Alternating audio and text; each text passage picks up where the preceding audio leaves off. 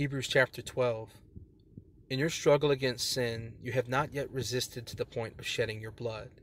And have you completely forgotten this word of encouragement that addresses you as a father addresses his son? It says, My son, do not make light of the Lord's discipline, and do not lose heart when he rebukes you, because the Lord disciplines the one he loves, and he chastens everyone he accepts as his son.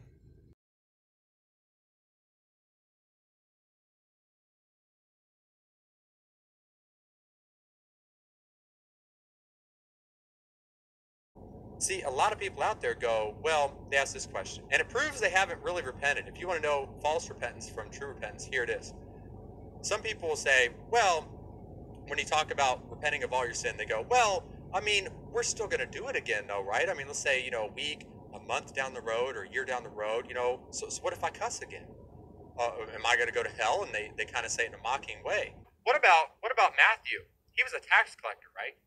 And he left everything but what if he just, what if he just uh, said, okay, Jesus, I'll follow you, but I'll still uh, defraud people as a tax collector. But maybe I won't do it full time. Maybe I'll just do it like one day a week, or maybe one day a month or something. You know, just to earn a little bit extra money on the side. I'm going to defraud people and, and steal from them.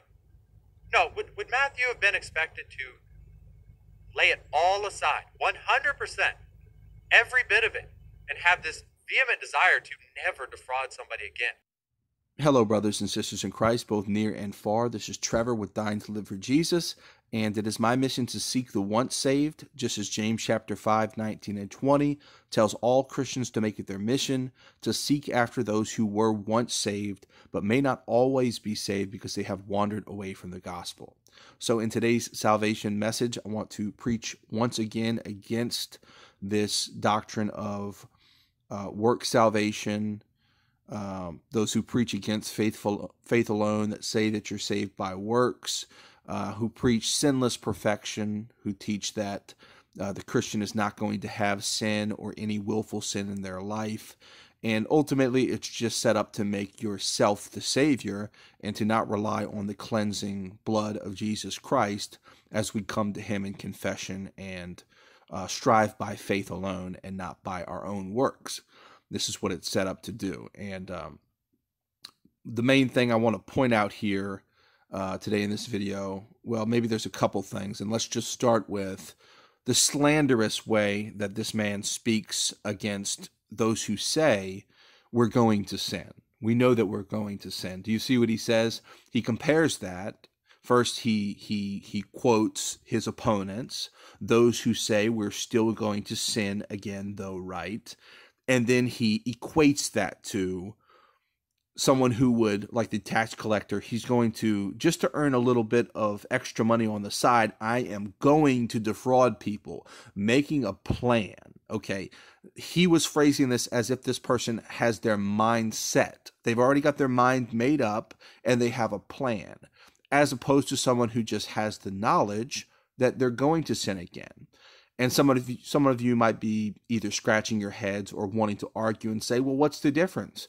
If you say you're going to sin again, that's the same thing as planning it out.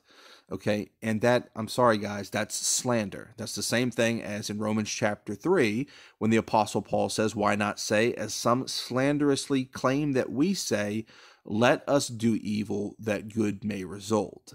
Why are people saying of Apostle Paul that he's saying, let us do evil that good may result? It's because he teaches the cross of Christ, which is not an excuse to sin, but it is an excuse to repent. It is an excuse to confess your sins to God, because when we mess up, God is going to cleanse us with with the blood of Christ. People hear this, the same work salvationists back then heard this.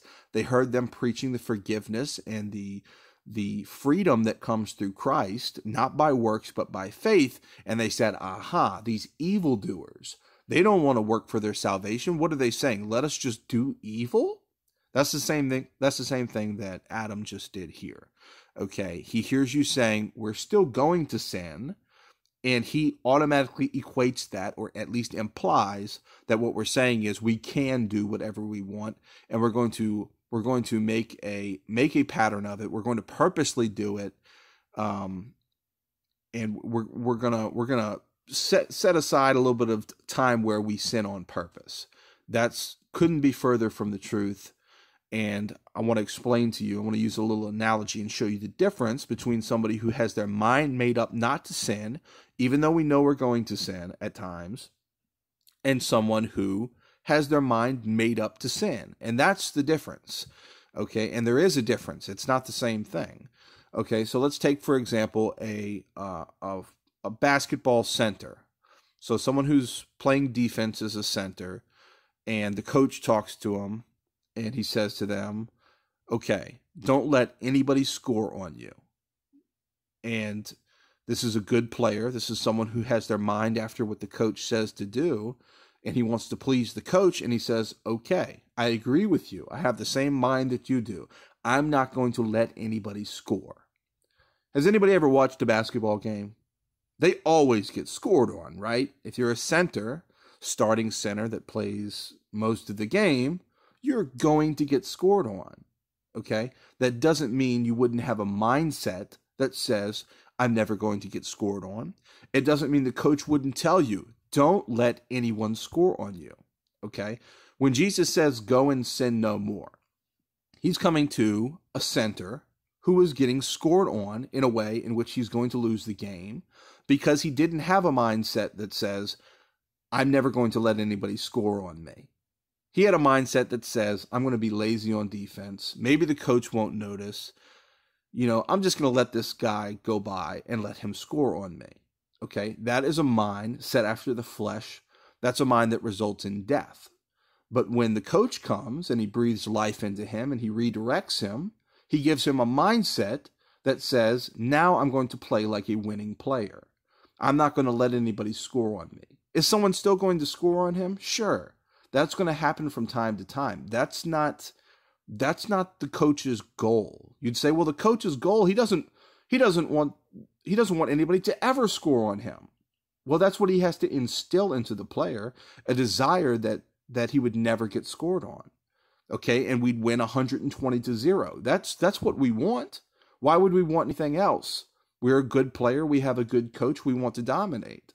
But that's just not the fact of the matter. And it's the same thing with the life of a Christian. We've been renewed to showcase that we are the righteous ones. Okay, we're being progress- progressively sanctified. This can be seen in our walk. We walk righteously now. We're good centers. Okay, we're good players now.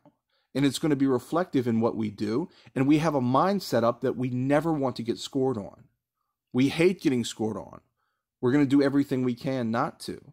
Still, we're going to get scored on. And this is why scripture says that we confess our sins. Christ says, if you don't forgive your brother 777 times in a day, or seven times, seven times 77 times in a day, your father also won't forgive you. Why is that? Because God forgives us every time we sin when we come to him in confession. And right here is where the work salvationist wants to pause and stop me just like they did in the past, and say, Oh, so you're saying let us do evil that good may result. You have your mind made up to sin because you just said you're going to.